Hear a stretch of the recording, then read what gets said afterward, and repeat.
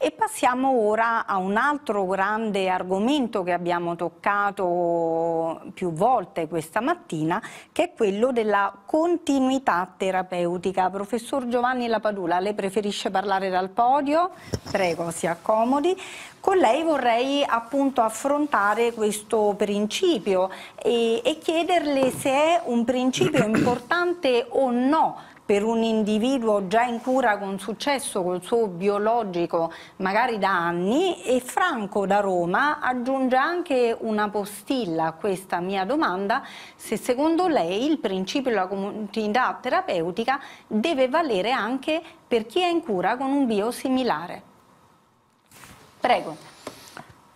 Bella domanda, prima della relazione. Eh, beh, intanto io volevo scusarmi del fatto che le mie diapositive hanno un formato diverso e vi sarà anche qualche diapositiva in inglese perché purtroppo nella fase di elaborazione delle diapositive sono stato colpito da una influenza che mi ha messo KO e quindi non ho avuto modo di completare l'elaborazione delle slide e di mandarle poi perché fosse eh, cambiato anche il format. Eh, la domanda è molto interessante. Eh, perché sì, è vero, uno dei problemi che si pone adesso, oltre all'idea che vada difesa ad oltranza la continuità terapeutica, perché il lavoro del clinico è quello di eh, fare una messa a punto, proprio come diceva Egi Meroni prima, per tentativi ed errori della eh, eh, problematica del singolo paziente e, e quindi dopo aver raggiunto faticosamente un certo equilibrio nessun clinico accetterà mai che qualcuno gli venga a proporre delle variazioni se il paziente sta bene, perché dopo aver raggiunto quel risultato, sia pure parziale, nessuno vorrà tornare a provare a, a rischio di fare nuovi errori nel tentativo di risettare la situazione del paziente, si pone poi il problema per chi abbia iniziato un farmaco eh, biosimilare perché eh, fra non poco vi saranno diversi farmaci biosimilari per la stessa molecola e quello che garantisce la nostra agenzia, l'EMA, per che, eh, o l'AIFA per quello che riguarda l'Italia, è che il biosimilare è simile all'originator, ma non assicura affatto che i biosimilari siano simili fra di loro. Quindi l'idea che si possa passare tranquillamente, saltellando da un farmaco all'altro, perché sono tutti biosimilari con un unico originatore, è una, un, una problematica pericolosissima, soprattutto sul piano della possibile reazione immune che è stata appena descritta, perché non è affatto detto che tutte le molecole abbiano gli stessi epitopi verso cui il sistema immunitario reagisce. Quindi noi avremmo, eh, se li considerassimo tutti uguali fra di loro, l'idea di fare lo stesso farmaco, ma in realtà stiamo somministrando numerosi diversi stimoli nei confronti del sistema immunitario che possono creare delle reazioni impreviste, sia dal punto di vista di una vera e propria reazione infusionale, come capita o è capitato per alcuni farmaci eh, che vengono somministrati per via endovenosa, sia un'inibizione della loro attività se l'anticorpo è un anticorpo inibente e quindi determina la riduzione del farmaco circolante. Quindi il problema va assunto, eh, va dire, affrontato con eh, criterio e io direi che chi ha iniziato da paziente naif, cioè da paziente che non ha mai fatto una, una molecola prima, eh, chi ha iniziato con il biosimilare debba avere la garanzia della continuità anche per il biosimilare, perché non, non possiamo pensare di, eh, di, fare questo continuo cambio su una base puramente economico-commerciale, perché è la distruzione della medicina clinica questo. Mi dispiace doverlo dirlo, ma queste eh, diciamo, queste tentazioni che hanno i decisori a volte sulla base di spinte giuste che riguardano la sostenibilità non possono essere portate avanti fino alle estreme conseguenze, mettendo a rischio la salute del paziente. Eh, il problema che mi è stato chiesto di affrontare è il problema di eh, eh se si può eh, cioè qual è il criterio della scelta? Cioè un clinico può pensare di eh, utilizzare un farmaco biosimilare eh, eh, sostituendolo al brand, cioè ha delle motivazioni cliniche? Beh, eh, su questo io ho dei problemi. Qui mi lancio un attimo sul terreno del professor Spandonaro, ma giusto così, come provocazione, con una diapositiva vecchissima, che quindi non ha, eh, eh diciamo, non vuole essere commentata, ma è una semplice diapositiva che dimostra come eh, vi sia una crescita percentuale della spesa sanitaria rispetto al prodotto interno lordo di ogni nazione. Noi abbiamo una situazione simile, molto simile a quella dell'Inghilterra, Inghilterra come popolazione, come tipologia anche, eh, almeno una volta, di sistema sanitario, vediamo che c'è un incremento progressivo ed è quello che eh, è stato più volte presentato eh, negli anni passati come un problema che riguarda la sostenibilità. Questo viene colto dai medici, i quali però colgono anche eh, un altro problema accanto a quella della eh, reale problematica, cioè della reale necessità di interessarsi al problema economico, ma anche colgono questo incremento della pressione da parte dei media, da parte eh, dei eh, decisori e temono e continuano a temere, visto quello che è accaduto nell'ultimo biennio per esempio, che eh, eh, questo desiderio, sia pure legittimo, possa finire con l'interferire con la loro libertà prescrittiva. E quindi il eh, quello che è accaduto per le associazioni, eh, l'AMA è un'associazione americana dei medici, ma eh, è accaduto anche nelle varie associazioni e società scientifiche italiane che i medici chiedono di conservare la libertà prescrittiva perché non si può attribuire a loro responsabilità anche penale il risultato di una terapia se loro non sono liberi di decidere sulla base della complessità del problema eh, del paziente. Quindi eh, il, il vero problema in realtà, prima di passare a questa sezione è che il medico, il clinico si trova a, a, eh, in una situazione particolare.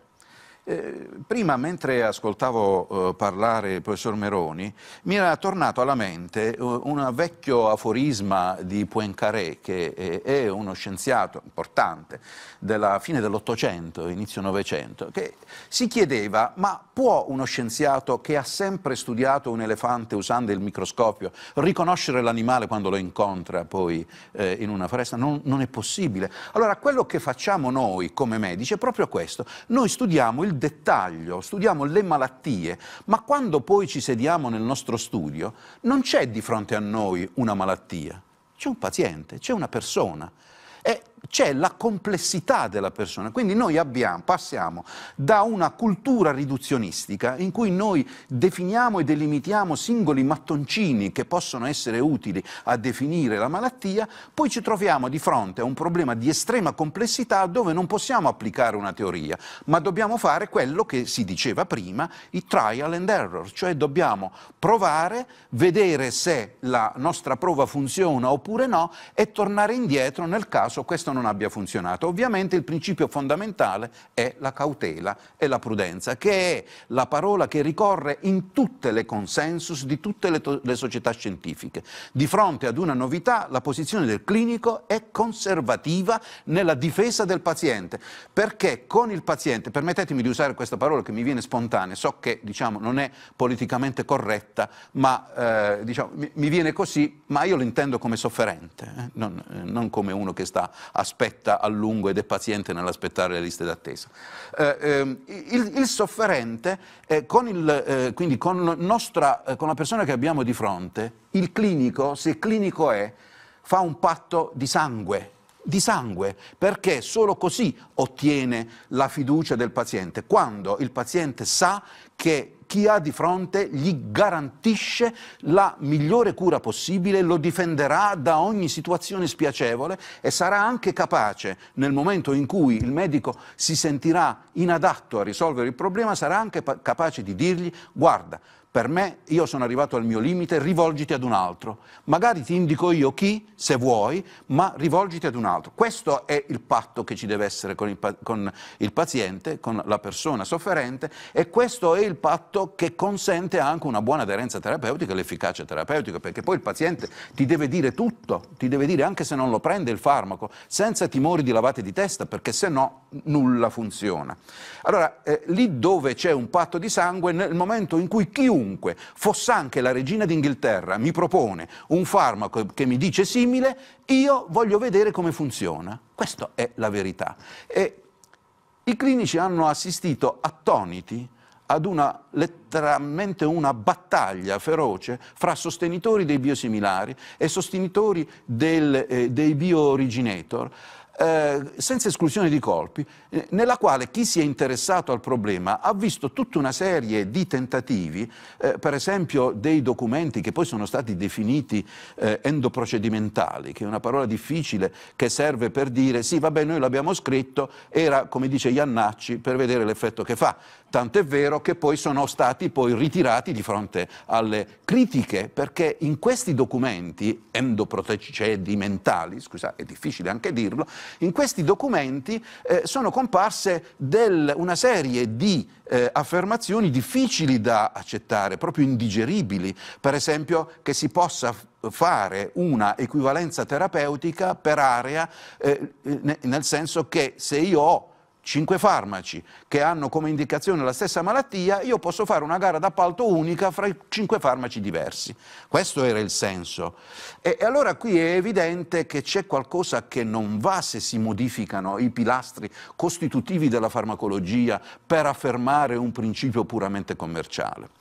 E qui è importante che i medici approfondiscano il problema del biosimilare, perché forse i medici neanche sanno tanto come, che cosa è un biosimilare, perché io qui ho riportato le definizioni originarie dei biosimilari fatte dalla, uh, dall'FDA prima e poi uh, quelle uh, fatte dall'EMA sotto. Che cosa dicono questo? Che un biosimilare è un farmaco che è definito biosimilare.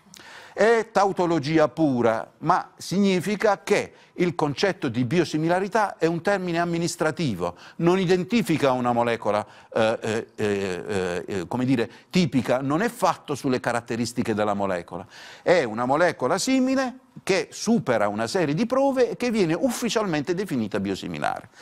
Di fronte a questo è chiaro che compare la cautela dei medici, tenendo conto anche, vado avanti rapidamente, eh, perché vi volevo far vedere uno dei motivi di perplessità che abbiamo più volte sostenuto e che per noi è fondamentale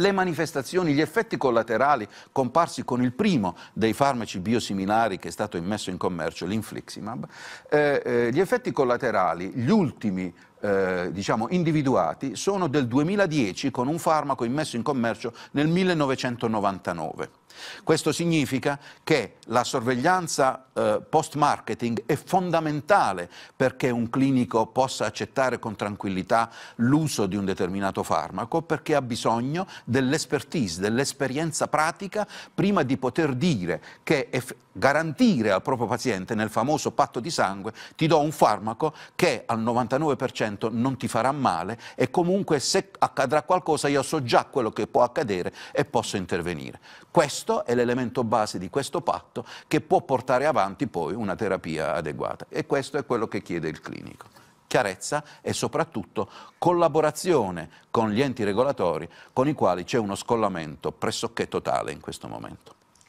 Benissimo, grazie professor Lapadula per queste sue relazioni sempre molto outspoken, come direbbero gli inglesi, cioè senza peli sulla lingua, possiamo tradurre, sì. che servono anche queste a fare chiarezza. Ma chiarezza per chiarezza io le vorrei fare una domanda un po' provocatoria. Abbiamo visto quanto sia delicato e importante il ruolo del medico in questa relazione terapeutica col paziente, in questo patto di sangue, come l'ha voluto chiamare lei, ma siamo davvero certi che i medici eh, siano, come posso dire, proprio ehm, in sintonia con le ultime scoperte, con queste ultime eh, notizie che abbiamo sentito, ovviamente notizie scientifiche relative a biosimilari, biologici, cioè che seguano oltre al dibattito pubblico amministrativo, come ha voluto chiamarlo lei, anche quello scientifico? Quanto ne sanno veramente i medici di tutto quello che stiamo dicendo? Purtroppo i medici in genere, gli specialisti in questo caso particolare, eh, non sono ben a conoscenza delle problematiche e delle caratteristiche anche che differenziano il, eh, il, brand, il prodotto originatore dal biosimilare. Ci sono stati eh, tre o quattro survey eh, eh, a livello europeo che hanno documentato che eh, molti medici dichiarano di sapere che esistono i biosimilari, ma di non saperne molto di più. Mm. soltanto il il 15% dei medici eh, eh, legge a letto l'EPAR, che sarebbe la documentazione eh, eh, completa riguardo al farmaco che è disponibile pubblicamente sul sito dell'EMA eh, in tutte le lingue eh, europee. E per lo più i medici si informano chiedendo ai colleghi e qualche volta, in una percentuale che è attorno al 20%, dichiarano di informarsi con le riunioni congressuali uh -huh. e quindi in, in ambiente scientifico. Eh, sostanzialmente l'educazione eh, dei medici è affidata alla buona volontà di ciascuno ed è episodica con spot di eh, informazioni che vengono captate in maniera parziale ma uno studio approfondito sulle caratteristiche eh, in buona parte degli si tratta di specialisti, degli specialisti di tutte le branche mediche sono stati intervistati. In tutti gli specialisti di tutte le branche mediche c'è lo stesso problema, nessuno si è informato in maniera sistematica e questo è un grossissimo problema, perché e... la gestione di questi farmaci va fatta con consapevolezza.